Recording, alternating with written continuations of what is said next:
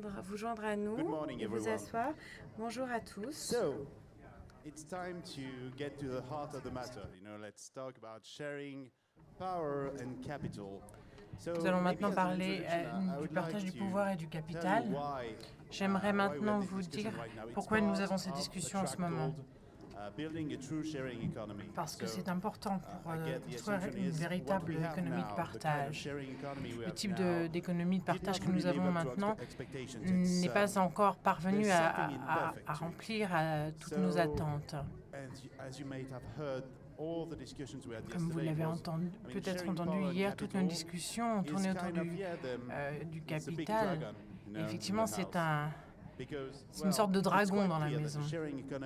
parce qu'effectivement, l'économie de partage généra- génère des, des valeurs. uh, Et, l'idée, ce, ce- n'est pas uh, qu'il y ait des chefs et qu'il y ait des parties prenantes. And why do we have David Dogarte, Juho Makkonen, and Nous avons ici euh, plusieurs personnes euh, avec euh, kind of des- what qui construisent des blocs de manière à ce que l'économie converge à un moment donné. David again. je suis très, très content de vous avoir ici uh, avec nous. Je suis toujours one of the ravi euh, de of, vous uh, Signas, avoir parmi nous. Vous êtes un des fondateurs de la pioneers et vous êtes véritablement des pionniers de- de- des organisations distribuées. J'ai l'impression que vous êtes les personnes qui ont euh, établi le, cadre intellectuel. Nous avons entendu beaucoup parler euh, du blockchain. et vous aviez euh, établi vos organisations bien avant que ces concepts connector existent. Vous êtes un, un WeShare which en Finlande. And Matan, we, Et, saw you yesterday Nathan, already. nous vous avons déjà Uh, you vu hier. are, you were one of the of the Vous êtes and you're un, un cofondateur de, de Flazoo. Backfeed, if I'm right. You will tell us about that. And you also Et happen to be vous, êtes également, physicist. You have a euh, PhD in string un- theory. vous avez également un diplôme euh, euh, uh, de physique. Given the, I, I- you know, I counted, I saw that uh, during the yesterday, J'ai vu qu'hier, 80% of the il y avait à peu près and 80% des, euh, and, uh, des discussions, et des uh, at panels some point, the word blockchain popped up. So qui euh, utilisaient le terme de how does it blockchain. feel to be the Comment est-ce qu'on- Comment, comment, quel effet ça fait d'être euh, le plus cool euh, So that's, that's a hard question. Ah, écoutez, c'est une question un peu difficile. Non, c'était une blague. guess, I guess um, the, there is a sense of revolution Il y a un sens, euh, De révolution que vous sentez lorsque euh, il y a un écho à ce que vous faites quand vous avez l'impression que ce que vous faites euh, a une, a une So résonance. Oui, s'il y a quelque chose de, de- magique, ou peut-être qu'il faut, il faut avoir euh, euh, un, diplôme pour pour it comprendre les tenants et les aboutissants de tout cela. Moi, je ne comprends pas forcément ce que, comment ma voiture fonctionne, mais je sais comment l'utiliser. Et c'est pas si difficile que ça. Hum, C'est intéressant, Uh, mais nous maybe reviendrons là-dessus. Ma première question, uh, et c'est want to d'ailleurs une question d'ordre général, Je uh, souhaiterais- um, j'ai l'impression que c'est une sorte de puzzle, cette euh, cap- capital capitale de, partage. J'ai l'impression que le pouvoir est, euh, Why is it et some le kind capital, of, c'est un peu la même chose. Pourquoi Vous souvenez-vous, on a, on a souvent voté là-dessus. Pourquoi est-ce que plus, plus, plus on possède, plus on 150 est, on years est à même de décider. Euh, je, is je crois que ça, ça c'est des, vieux concepts qui sont en train d'évoluer actuellement. Peut-être que David pourrait commencer à originally- s'exprimer là-dessus. Oui, au départ, le capital, it, dans la manière dont nous le concevons, dont nous l'avons was défini, était une ressource euh, avec beaucoup be de valeur et ça semblait naturel euh, que pour euh, développer euh, le PIB euh, d'une économie, il, il y a eu ce besoin d'un cadre avec énormément de capital pour pouvoir euh, faire de grands investissements et, établir des, grosses infrastructures. Oui, ça c'était le 19e siècle et le capital à, cette époque signifiait accélérer la, la possibilité de la société euh, à faire grandir, à croître.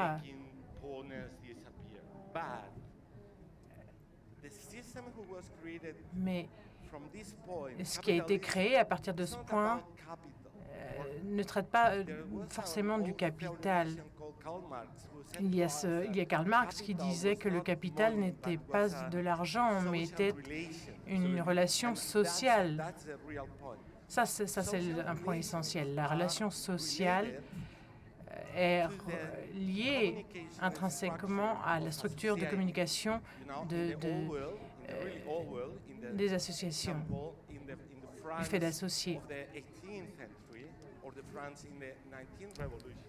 La France de la Révolution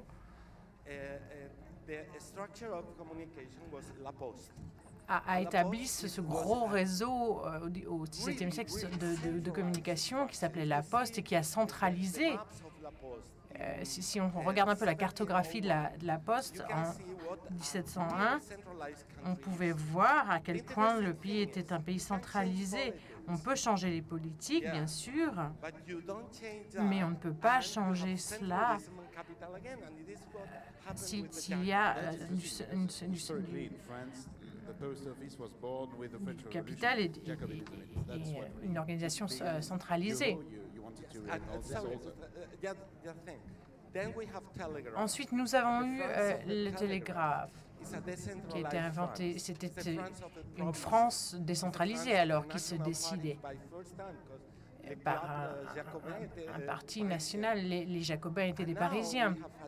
Et maintenant, nous avons des structures distribuées qui sont à même de redistribuer, d'ailleurs ça a été la base d'Internet, qui luttait contre les structures centralisées des startups. vous avez une plateforme qui euh, permet aux autres de, construire leur, propre plateforme. Oui, effectivement, je pense que hier dans un panel, on disait, quelqu'un disait qu'il n'avaient pas tant besoin de capital pour, euh, euh, leurs atouts, mais que, tout, provenait finalement de leur réseau, de, de, des plateformes euh, de partage et que l'utilisation de ce capital était là pour construire des réseaux et, se rendre connus. et, cette technologie qui était construite et l'argent qui était utilisé pour construire cette technologie euh, servait à cela. Ce que nous essayons de faire, c'est de rendre la technologie accessible pour tout le monde. Les technologies que vous pouvez utiliser pour, construire votre propre marché, euh, si on prend l'exemple euh, d'Airbnb, Aujourd'hui, il est possible de créer une structure sans énormément d'argent grâce à, cette, à l'économie collaborative.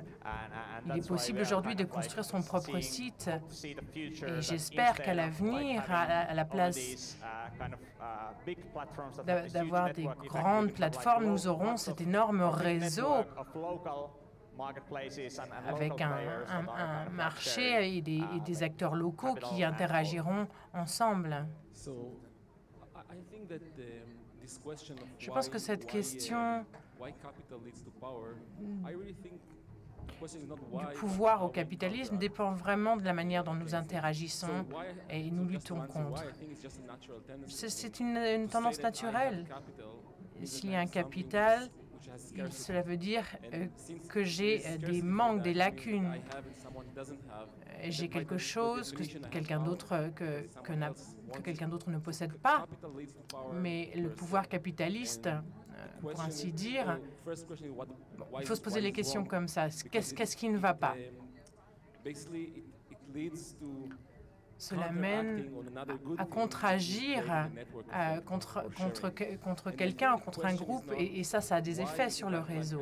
Pourquoi est-ce que cela fonctionne comme ça?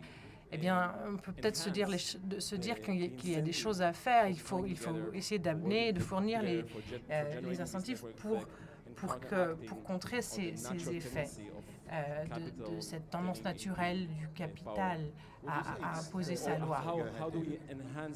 Comment est-ce qu'on augmente le pouvoir d'un réseau, par exemple? je crois que je ne suis pas d'accord, vous savez. Oui, oui, ça arrive souvent. Euh, dans les panels, il y, a, il y a des discussions qui peuvent naître ainsi. Nous n'avons pas besoin de capital en ce sens. Nous n'avons pas besoin de devenir Google. Le pouvoir vient de la possibilité de centraliser. Si on ne centralise pas, si on fédère, si on distribue, alors on n'y a pas besoin de capital. Je ne souhaite pas avoir du capital. Le capital dont j'ai besoin doit être gratuit, l'accès gratuit par exemple, je, n'appellerai pas ça du capital, c'est quelque chose de différent. Le capital est quelque chose que je souhaite avoir, mais que je ne peux pas avoir autant euh, dans des quantités que, dont j'aurais besoin. vous travaillez sur une plateforme open source, n'est-ce pas? Est-ce qu'on pourrait parler d'un capital open source, par exemple? Ça, c'est la, discussion qui a déjà eu. Pourquoi est-ce que nos, ces plateformes sont, sont requises?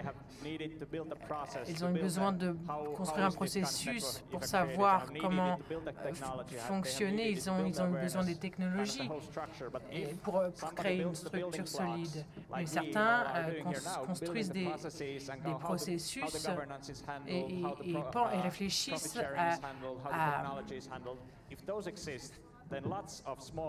la gouvernance de ceci. Je pense qu'on peut, utiliser euh, tout cela comme levier. Il n'y a pas besoin de, toujours de capital. Quel est le problème d'une organisation centralisée? Les plateformes sont des, des, organisations centralisées, par exemple, comme n'importe quelle corporation. Quelle est euh, l'issue finale Quelle est le, la, problématique de cela je pense qu'il faut définir les choses. On parle de euh, capital social et le promoteur euh, de, de, ce mot, je crois que ce serait d'accord. Vous savez, c'est un capital qui appartient au, réseau. Ce n'est pas de l'argent, ce n'est pas des aliments. Le problème avec la centralisation, c'est que cela promeut le capital et, et, euh, euh, n'aide pas, n'encourage pas euh, au capital social. Vous savez, nous travaillons à la création d'un d'un réseau social, notamment dans, les banlieues, pour euh, créer cette économie de partage euh, avec un accès libre, gratuit. Dans chaque banlieue, les, membres, les réseaux qui se trouvent dans les, dans les banlieues sont, sont également, deviennent alors un capital et se distribuent euh, en, des causes marginales, si je puis m'exprimer ainsi. C'est une véritable tradition. Nous sommes actuellement dans une transition vers un capitalisme sans capitaliste, associé avec l'idée d'un capitalisme euh, différent. Quel est le problème avec euh, le fait d'avoir une organisation centralisée. Hier, euh, Jérémy parlait de, des 1%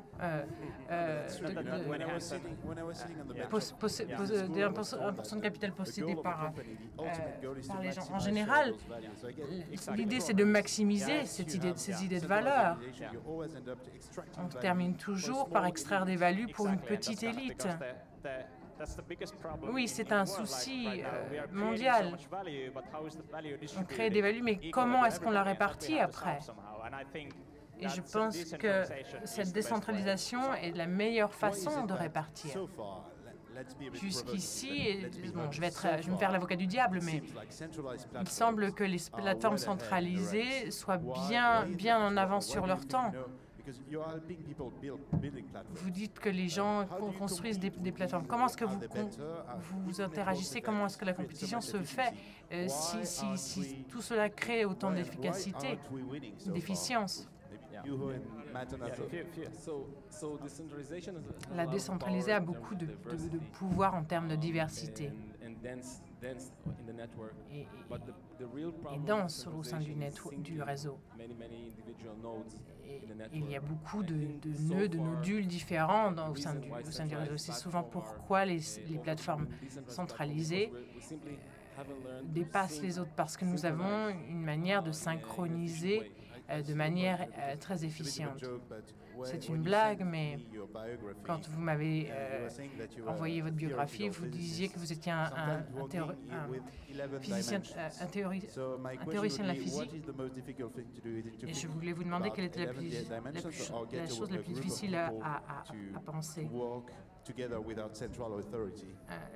l'idée de... de, de Excusez-moi, vous. D'un point de vue conceptuel, est-ce que c'est -ce euh, de travailler, obtenir des gens qui travaillent ensemble ou, ou, de, tra ou de travailler en, en, en, théorie de la physique. Je voulais juste dire quelque chose Aujourd'hui, je n'ai pas eu l'occasion de le dire, mais aujourd'hui, dans, Amazon, nous avons publié en anglais un ouvrage sur la communauté. Oui, oui, en Angleterre, nous, sommes sur le jour de, de lancement de cette, de cette publication. L'expérience communautaire d'une commune icarienne futuriste. Pendant 15 ans. Nous avons travaillé sur, cette, sur cette, notion. Vous avez eu l'info, hein, c'est sur Amazon qu'on peut trouver. Dans, chez, chez, chez Kindle, on peut trouver cela. Non, non, mais c'est... Il, est, il y a une version en espagnol, elle est gratuite et c'est du domaine public, elle appartient au domaine public. Nous aussi, on publie une, un, livre et, quand j'ai voulu le publier sur Amazon, le faire sortir sur distribuer sur Amazon, on m'a dit, l'éditeur m'a fortement déconseillé cela. Vous vouliez réagir là-dessus. Alors qu'on parle de transition ici, eh bien, les plateformes centralisées euh, connaissent, sont couronnées de succès parce qu'on pense que c'est le nouveau modèle à suivre, alors qu'ils ne font qu'appliquer l'ancien modèle sur, euh, l'économie. Et, c'est pour nous, c'est étrange parce que c'est intéressant de voir comment l'argent a été utilisé, euh, de, voir à quel point beaucoup d'avocats ont été sollicités. J'ai une question sur justement le cadre juridique de tout cela. Quel, quel type de cadre juridique avons besoin? Oui, vous, vous êtes, euh, vous n'êtes pas du tout d'accord avec ce qui se dit aujourd'hui, n'est-ce pas? Oui, ça doit être le petit déjeuner.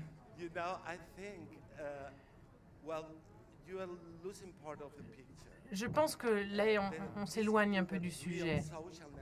Les véritables réseaux sociaux euh, utilisent Internet et, l'idée de partage est partout, euh, chaque jour.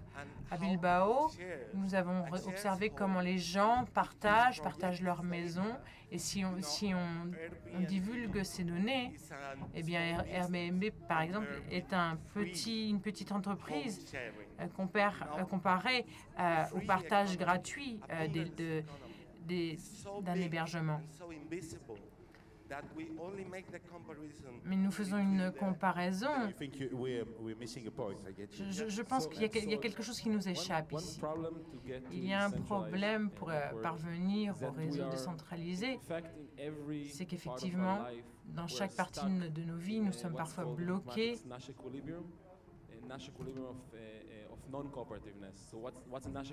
Qu'est-ce qu'un Nash Equilibrium Qu'est-ce que ça veut dire?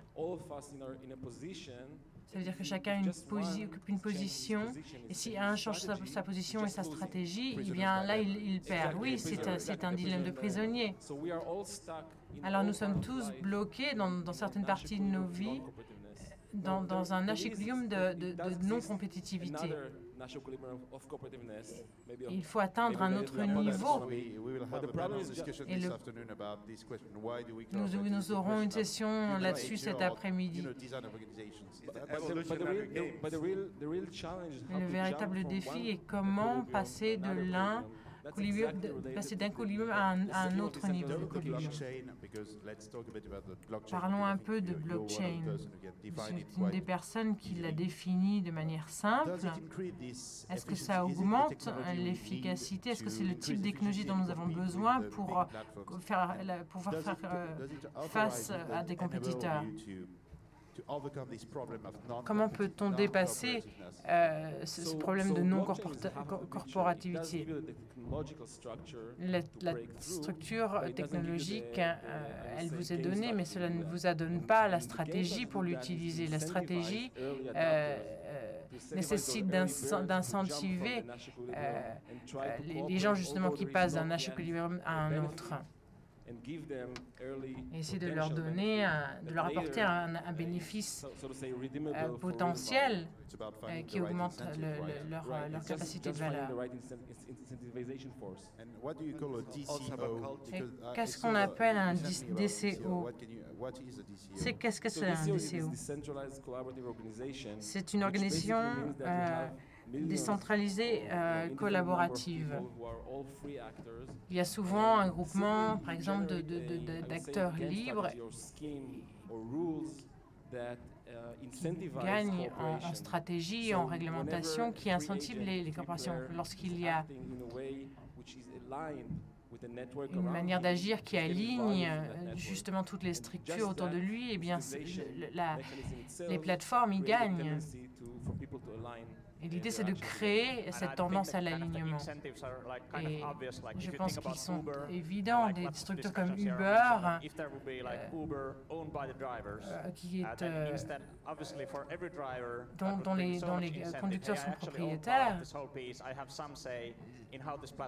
je, je- je peux, je peux voir comment la, la structure s'est développée. Euh, Je sais que d'une certaine manière, mes droits intellectuels sont protégés. Ils ont les, ils ont les technologies, ils ont les processus, et c'est pas si difficile de créer ce type d'organisation. Et l'incentive, je pense, est, est définitivement présent. Ce type d'organisation constitue un capital risque, et ça, ça- ça apporte une qualité meilleure à, à la structure. J'ai une question sur euh, la collecte de fonds. Une question pour vous, David. Je- encore une fois, je, je ne suis pas d'accord. Je suis, je suis euh, le mauvais bougre aujourd'hui.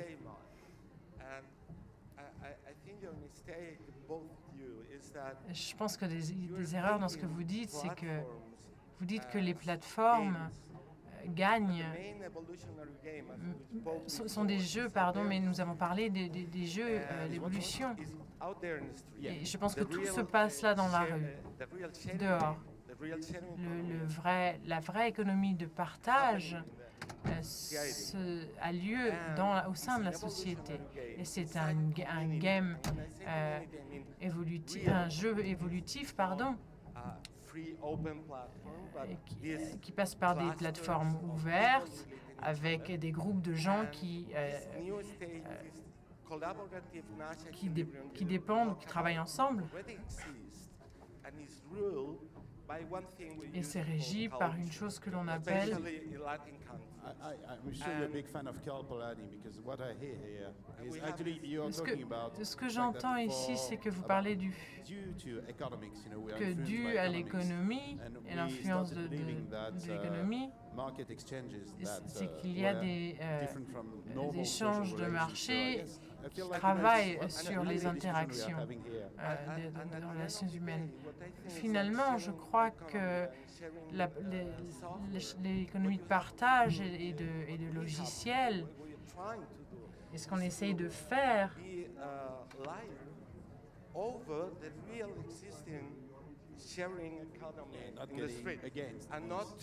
c'est qu'on essaye de travailler euh, en dehors de cette véritable économie de partage qui a lieu.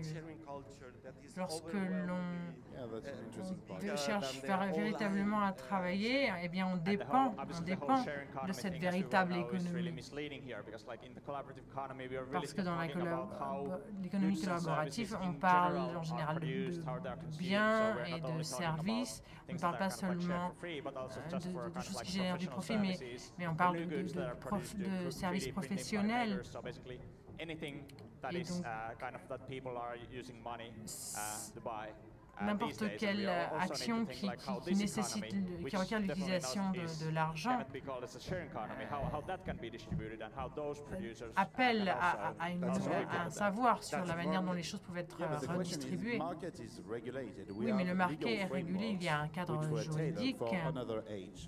For another age. So, and I feel somehow there is a Et je sens que d'une certaine manière, il y a une certaine inertie dans les structures corporatives. Je me souviens lorsqu'on parlait il y a quelques mois, on avait une discussion sur euh, ces, structures, ce que nous avons vraiment en tant que cadre juridique, en tout cas du besoin qu'il y avait à construire ces structures juridiques. Oui, c'est une uh, question like très experts intéressante. Il y a beaucoup d'experts qui travaillent là-dessus. Et c'est une- un des défis euh, dans cette industrie. Mais j'ai l'impression um, que les like 100 years entrepreneurs, euh, sont so toujours en avance de example, 100 ans par rapport euh, aux, personnes qui, euh, établissent les réglementations. Il y a des faits qui sont posés et bien après, on travaille avec les entrepreneurs pour comprendre les tenants et les aboutissants. Donc, d'une certaine manière, nous sommes en train de créer une réalité, une nouvelle. Et, commu- en, communiquant avec, avec ces gens-là, eh bien, nous- cela nous aide à créer un, cadre juridique approprié. Personne n'essaye d'éviter de payer des impôts. ou autre. Uh, um, uh, uh, Mais effectivement, il y a un, nou- nouveau, une- quelque chose the de, jeune et de frais encore qui, n'a pas encore eu le temps d'être réglementé. Oui, quand on parle des, des, COP is- et there autres infrastructures de ce adapt genre, il y a to cette the- nécessité de, s'y adapter. That you- In your recent walks, you're, you're quite thinking, you're thinking a lot about uh, legislation. Je pense que vous, vous avez beaucoup réfléchi hein, au, cadre de réglementation. Uh, question is La question, la façon dont, toute l'économie euh, tente à recentraliser in different uh, uh, de manière euh, réglementative, eh bien, uh, uh, c'est- vraiment une, une- une sorte d'énergie euh, qui essaie de, re- de, de- de réglementer les choses. Et ça- ça- ça-. La première chose, c'est qu'à travers la propriété intellectuelle, un cadre juridique, par exemple, la manière dont Google travaille ju- justifie des, des- des gigantesques capitaux. Nous avons énormément de capitaux sur le marché qui ne peuvent pas être profitables dans une euh, dans l'économie véritable. Il faut, il leur faut donc inventer quelque chose pour qu'elles deviennent profitables. L'intellectuel La propriété intellectuelle est là pour créer un, investissement nécessaire pour devenir compétitif, euh, euh, pour remplacer les choses que nous pourrions faire gratuitement. Et, cela crée des inégalités, parce que le fait de créer une égalité à travers, par exemple, euh, l'éducation, il faut savoir qu'il y, a- il y a beaucoup de gens qui dépendent, sur- de, de- dépendent de ces capitaux. Et sur le marché et le capitalisme ont créé les conditions pour détruire cela pour toujours sans, sans avoir besoin d'autre chose que le capital dont- que nous possédons déjà. That's an interesting point, and which leads us to, yeah, of course, but the third one especially. Thank you, David. C'est intéressant, merci regulations David. Les réglementations permettent aux personnes de bloquer le prix de leur loyer. Et d'une certaine manière, the law. Eventually, code is low i- when the blockchain systems are Quand set up. les systèmes de blockchain sont installés, bah, ça va vite devenir obsolète finalement. Oui, le droit évolue et évolue dans tous les pays. Et quand on essaye de construire cette, décentralisation, cette décentralisation, on, on essaye toujours de, de, de se reposer, d'utiliser les, les structures, les structures juridiques qui sont cohérentes avec ce que nous faisons. Et d'ailleurs, euh, à l'avenir, pour Bitcoin, la structure technologique est telle que hum, le droit peut toujours s'y référer, mais d'un côté, cela va au-delà des structures qui existent déjà. On parle de contrat intelligent, un contrat qui s'auto-exécute. On n'a plus le contrôle sur ce contrat. Et d'ailleurs, nous essayons de reformuler ce qu'on sait sur la juridique, sur le droit en fonction de ces avancées technologiques. Ma dernière question, ça c'est pour moi c'est le orga- organizations problème. si les organisations for the 1%, centralisées arrivent à extraire de la valeur pour ces 1% et que les organisations décentralisées n'y parviennent pas? Comment allez-vous lever des fonds? Qui va vous donner des fonds? Par exemple, vous permettez à des gens de créer leur propre plateforme. Mais vous avez aussi des, farm- des plateformes de capitaux risques. Comment est-ce que vous prêtez de l'argent si vous devez aussi leur euh, rendre quelque chose, n'est-ce pas? Oui, évidemment, notre entreprise start-up ont un modèle d'entreprise, évidemment, puisque comme toute entreprise, on s'est rendu compte qu'il fallait beaucoup d'argent pour développer la technologie. Ça prend des années et des années.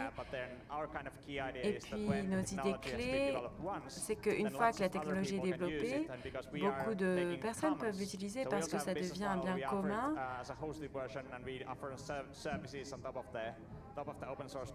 Ça, nous offrons également un service. Personne ne le possède, donc personne ne peut le contrôler. Toutes ces petites organisations n'ont pas forcément besoin du capital, puisque une fois que le processus est là, processus est là que la technologie est là, ils n'ont pas besoin de lever tant de fonds, ils se concentrent sur la communauté et ils peuvent ainsi fonctionner avec des marges assez faibles. Le- pour revenir sur le concept de blockchain, est-ce que vos euh, investisseurs sont réceptifs euh, sur euh, cette dynamique de décentralisation, centralisation? Quelle est la relation que vous avez avec ces gens? Je suis tout à fait d'accord. Je crois que la bonne chose à faire, c'est d'établir un pont entre le monde capitaliste et le nouveau monde et de ne pas essayer d'établir une guerre entre les deux. Nous avons également conçu notre modèle d'entreprise pour prendre en compte à la fois des levées de fonds auprès de- d'investisseurs, mais également soutenir et anticiper. Bah, je crois que c'est vraiment la bonne chose à faire. David, tu voulais ajouter quelque chose Peut-être que tu n'es pas d'accord, encore une fois. Je ne sais pas. Bon, tout ce que je sais,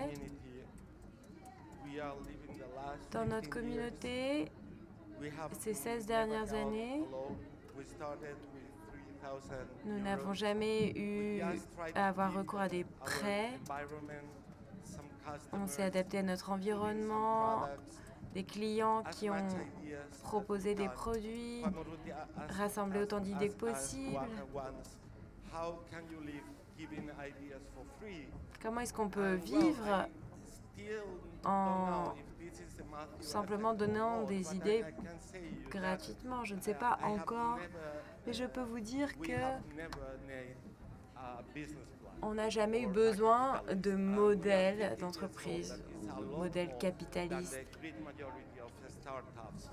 On est assez. Ça fait quand même un petit moment qu'on existe et ça fait beaucoup plus d'années que certaines startups d'ailleurs. Allez, on peut l'applaudir. Okay, we have like two minutes left, and you know that this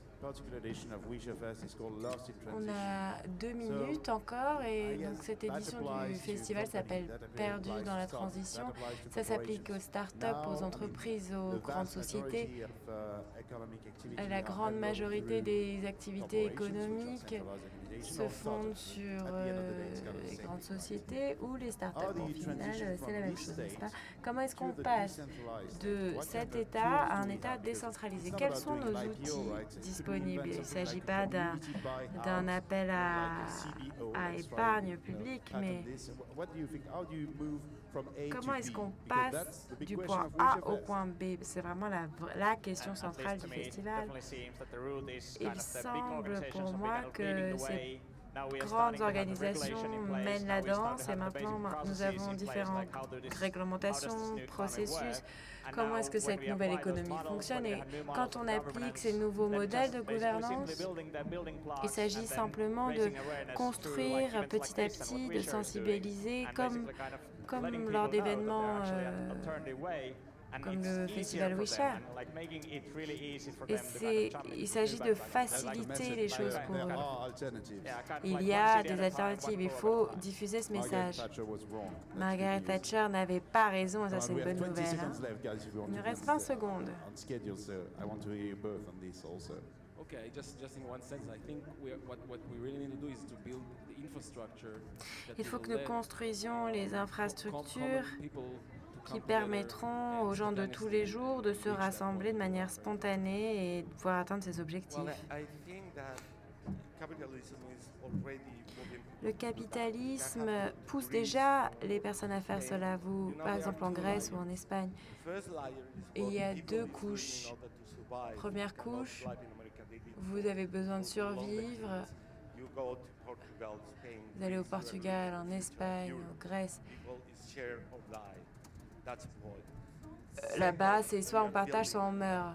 Deuxièmement, on construit des outils fantastiques, blockchain, euh, Share Tribe, New social or New or Social,